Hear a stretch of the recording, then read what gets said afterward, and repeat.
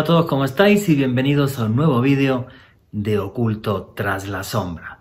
Y aquí lo que hacemos es periodismo de misterio. Nosotros os ponemos los hechos encima de la mesa y vosotros decidís qué hay detrás y qué no.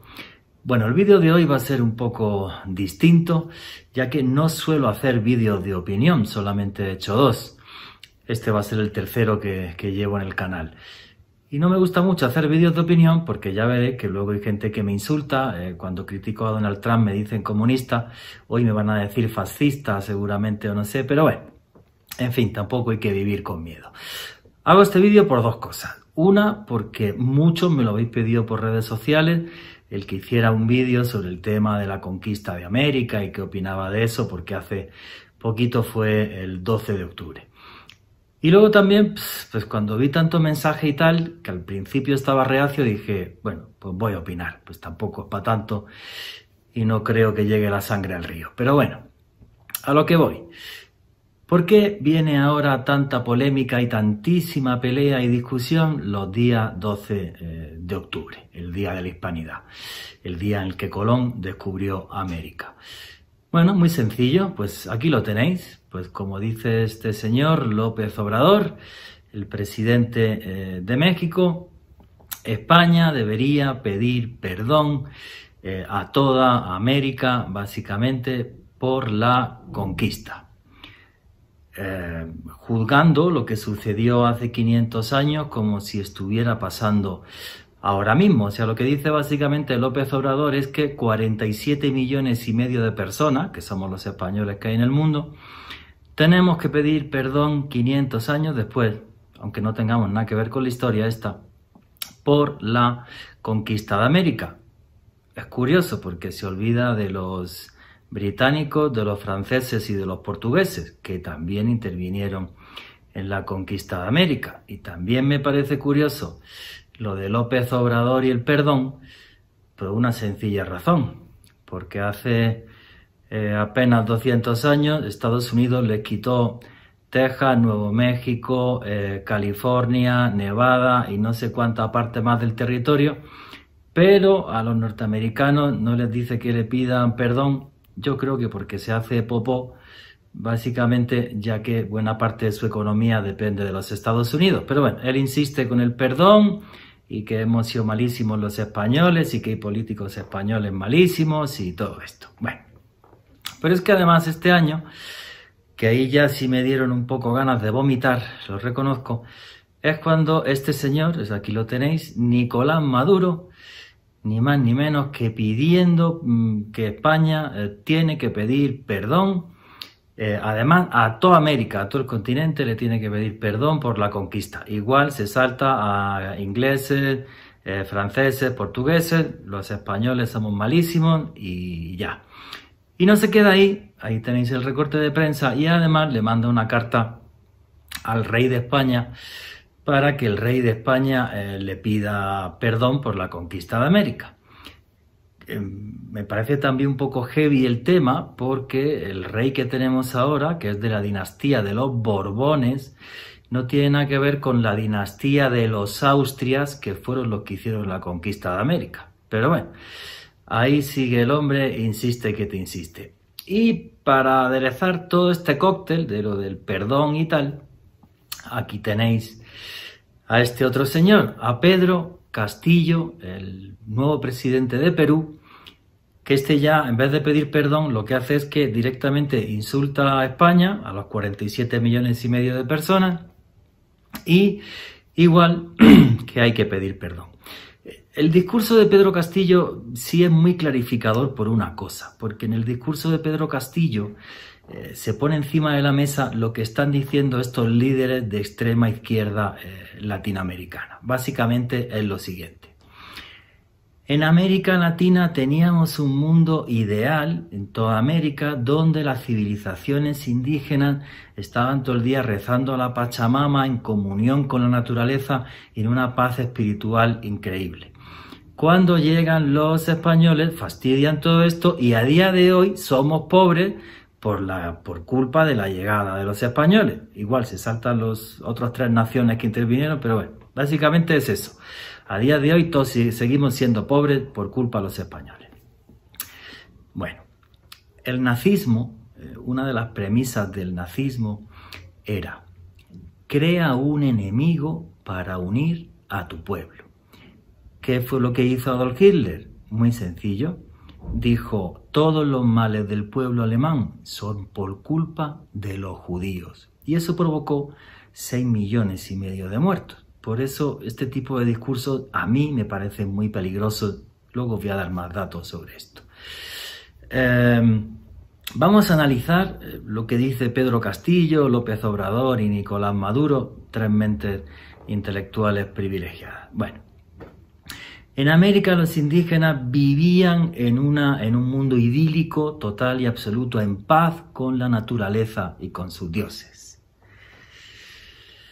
Bueno, esto es un cuchillo de obsidiana, es una réplica de uno que hay en, el Museo de Antropología de México, que te partan el esternón y te saquen el corazón con esto, mm, parte de ese mundo idílico maravilloso. Eh, os voy a dar otros datos, por ejemplo. Fijaros en esta imagen. Site Topec, el dios desollado. Es un ritual azteca, lo que estáis viendo es la estatua de un niño que está vestido con la piel de un esclavo al que se ha sacrificado en honor a los dioses.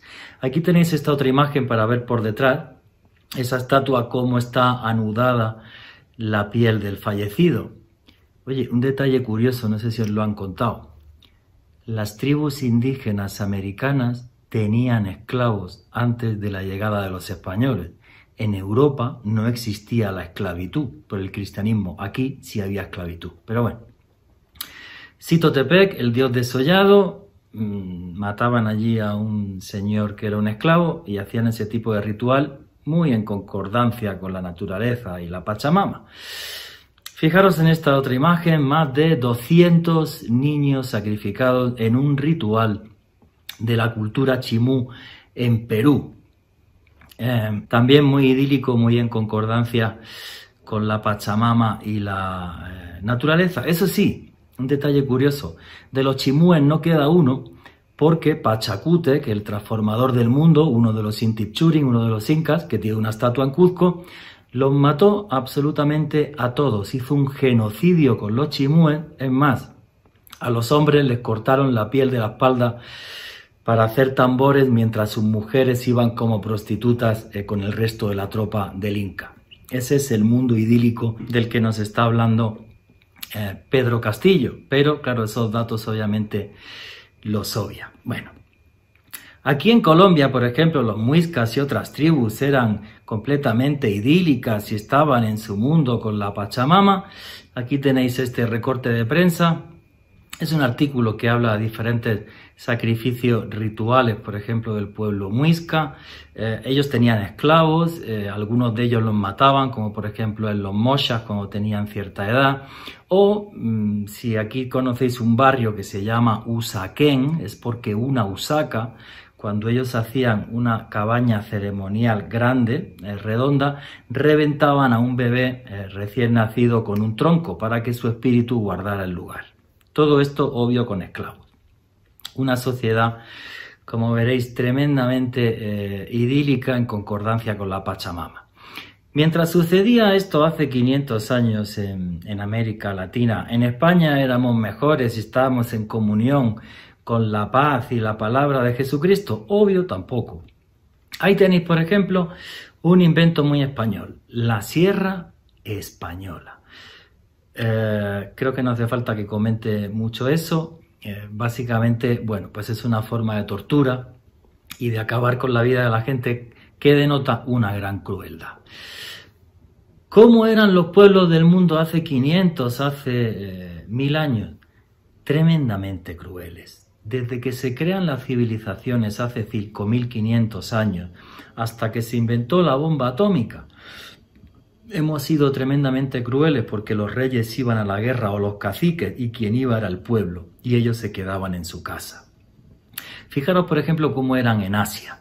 En Asia, por ejemplo, una de cada cuatro personas en Asia se calcula que desciende de la violencia sexual de los mongoles, de eh, un gran cacique eh, que fue Genghis Khan que aunó a las tribus mongolas y creó el mayor imperio de la historia, en concreto fue su nieto el Kublai Khan. Aquí tenéis una imagen de Genghis Khan, del jefe de jefes en Ulaanbaatar, en Mongolia. Y entonces diréis, oye, ¿y por qué en Mongolia hay una estatua de Genghis Khan si es el mayor genocida de la historia? Mató millones de personas y abusó sexualmente de muchísimos miles de, de mujeres. ¿Cómo es posible que en Ulaanbaatar haya una estatua de Genghis Khan? Mira, hay una cosa, y hago este vídeo por eso, que jamás podéis olvidar. Todos los pueblos idealizan su pasado porque es necesario para su identidad, para la identidad como pueblo. Y eso es una cosa que jamás se puede atacar. ¿No entendéis esto? Os recomiendo este libro, lo estáis viendo ahora mismo. Es un libro de Desmond Morris que se llama El Zoo Humano. Y en este libro, eh, Desmond Morris lo que nos cuenta es que el concepto de tribu lo que ha hecho es evolucionar y ahora mismo las tribus pues son banderas y son países y demás, pero básicamente los seres humanos seguimos siendo lo mismo y es necesario que idealicemos nuestro pasado y es necesario que tengamos una identidad como pueblo. Vamos a ver. Eh, el que entendió esto perfectamente es un señor que se llama, se llamaba Nelson Mandela. Aquí lo tenéis. ¿Y por qué Nelson Mandela fue tan inteligente con esto de no puedes atacar la identidad de un pueblo? Pues os lo voy a explicar ahora mismo. No sé si conocéis esto que tengo ahora mismo aquí en la mano. Bueno, esto es una camiseta de rugby de Sudáfrica. Lleva aquí bordado una gacela, un Springboks. Esta camiseta se conoce como la camiseta de los Springboks. Bueno, cuando el Congreso Nacional Africano se hace con el poder, la primera reunión que hay de la gente que está en tema de deportes era abolir esta camiseta. Esto había que acabar con ello porque era el signo de identidad de los blancos surafricanos, la gente que había padrinado el apartheid. Y entonces el señor Mandela, si habéis visto la película Invictus, ahí está, el señor Mandela llegó y dijo, ni se os es su símbolo de identidad. Tú no puedes atacar la identidad de un pueblo. Y los blancos en Sudáfrica juegan a rugby. Y los blancos surafricanos jugando a rugby son de los mejores del mundo. ¿Queremos construir un nuevo país? Vale, nos toca integrarnos en eso. Se gastó el dinero y a día de hoy la selección de rugby de Sudáfrica, última campeona del mundo, es una selección de rugby multicolor, multirracial y multiétnica. Esto para mí hizo a Nelson Mandela un tipo muy grande. Obvio. Construir en vez de destruir. Voy a comentar para cerrar el vídeo algo que me ha pasado aquí en América Latina. El sur de Chile filmando una comunidad mapuche, que por cierto hubo que pagarle, lo de gratis, hablar de su cultura para nada. Me comí una insultada que no vean por ser español y tal y toda la historia. Rurrenabaque, Bolivia. Si no salgo una noche eh, bien atento de una taberna, me meten la paliza, la paliza de mi vida por ser español. Chinchero, Perú, me apedrearon porque eh, estaba en una plaza y había una boda inca o no sé qué y saqué una cámara y a pedra limpia igual por ser español. Bogotá, Colombia, eh, un problema un día con mi perro, tal, igual eres un asesino español, tacatá, tacatá, tacatá. Estoy mamado. ¿Hay que pedir perdón por lo que pasó hace 500 años cuando todos los pueblos del mundo eran crueles? No. Todos los pueblos idealizan su pasado y los descendientes de los aztecas tienen que estar orgullosos de eso porque sus antepasados crearon Tenochtitlan, la Venecia de América. Y los descendientes de los, de los incas tienen que estar orgullosos de eso porque sus antepasados crearon Machu Picchu, la ciudad en la que se amarra el sol. Y yo como español me siento orgulloso de mi pasado y de mis padres que eran españoles como yo. Y a partir de ahí, ojalá empecemos a construir. No sé qué opináis de todo esto, insultos aquí abajo, no me importa para nada ni me, eh, ni me asusto, pero creo que si es positivo, que, intentamos, que intentemos poner un granito de arena para construir un mundo mejor, no para buscar enemigos absurdos por lo que pasó hace 500 años. Porque entonces España tendría que pedirle, tendría que decirle a Francia que le pida perdón por la invasión napoleónica, a Siria y a Yemen por la invasión del siglo VIII y a Italia por la invasión de hace eh, 2000 años, la de Roma. Es ridículo todos los pueblos antiguos conquistaban o eran conquistados. Esa, por desgracia, era la naturaleza humana. Bueno, ya no me enrollo más, vuestros comentarios abajo, el que quiera que se suscriba y le dais a la campanita. Si me queréis insultar tampoco me asusto. Hasta el próximo vídeo.